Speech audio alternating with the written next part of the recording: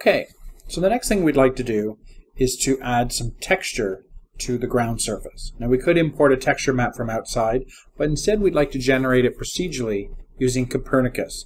Uh, it's a new image context within Houdini, uh, and it can be used for uh, making texture maps. So let's take a crack at that.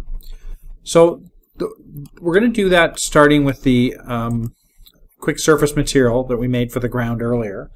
We're going to change the color back to white uh, because we want to be able to multiply the texture map into that.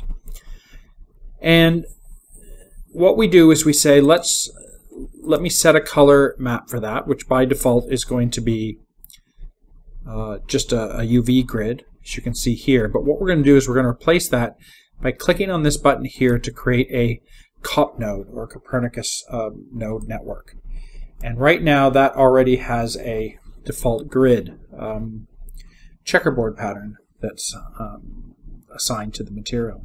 To see this, if we double click into here, we can see the checkerboard pattern and it will show up here in the 3D view.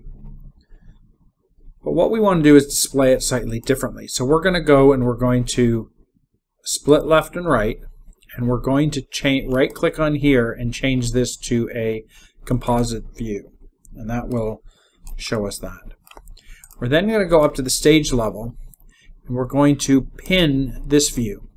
So even if we go down into the compositing network, we'll be able to see the results here while also seeing the, the, the, the changes at the 2D level here. So let's just uh, click on this, make a change. So let's change that to red. Okay, that works.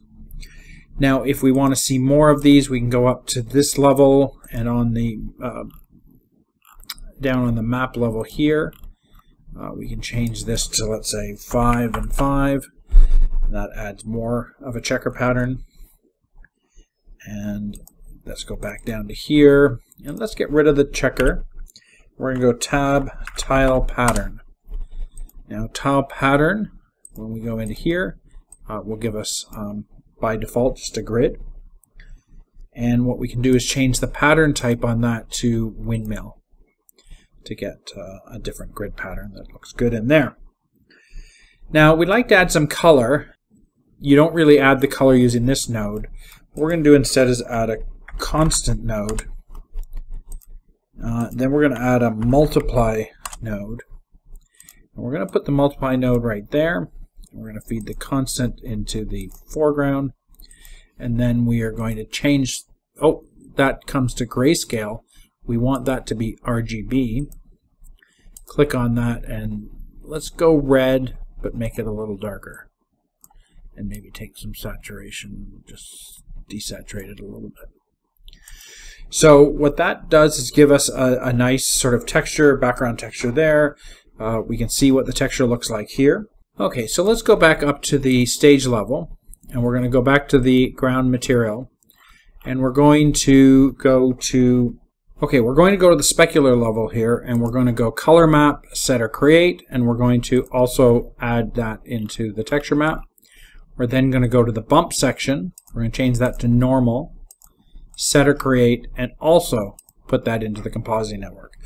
Now what does that actually do? You can sort of see a, a checkerboard pattern going on in here and if we double click into here we find out that again checkerboard patterns have been created for all of these. So we've got three null nodes that are the export options to go to the texture map and here's what's feeding into that. Now to make things more consistent we're going to delete this and we're going to uh, delete this and we're going to feed the tile pattern into both of these. And there you go. So now you've got some specular color differences as well as, um, as you can see, a bit of a bump in the pattern. Now right now the grout feels a little too thick. So what we want to do is we want to, if you go to the tile pattern, um, we can change the divisions to 4. You see that way we're getting a little closer. Uh, we're not seeing as many of them here, uh, we're going to do the tiling uh, up at the level above. So if we go back up to the stage level, we can go to the ground material, and just like we did before, instead of 5 and 5, we're going to go 15, 15. So because we've got more of these, um, it it allows the grout in between to be a little smaller, and it allows the the tiles to look a little bit nicer uh, here in that view. So that's that's some little adjustments we we were able to make there. And of course, we can go back into here and we can say, well, you know what? Um, instead of this, let's go with a um, French pattern. Now, one of the things is this actually worked pretty nicely right now, but sometimes this needs to be restarted um, to handle a new texture. Sometimes it doesn't um, pick it up. Actually, it didn't pick it up right away there, so the re-render was necessary to get that to view. Let's go back up to the stage level. So here we've been able to texture this ground material by adding a compositing network and feeding those materials uh, into the quick surface material right here, and that was all done in a very clean and friendly way. And if you want to, you maybe you don't need this right now, is you can click back there and just uh, let's restart the rendering again just to make it work for this. And there we go.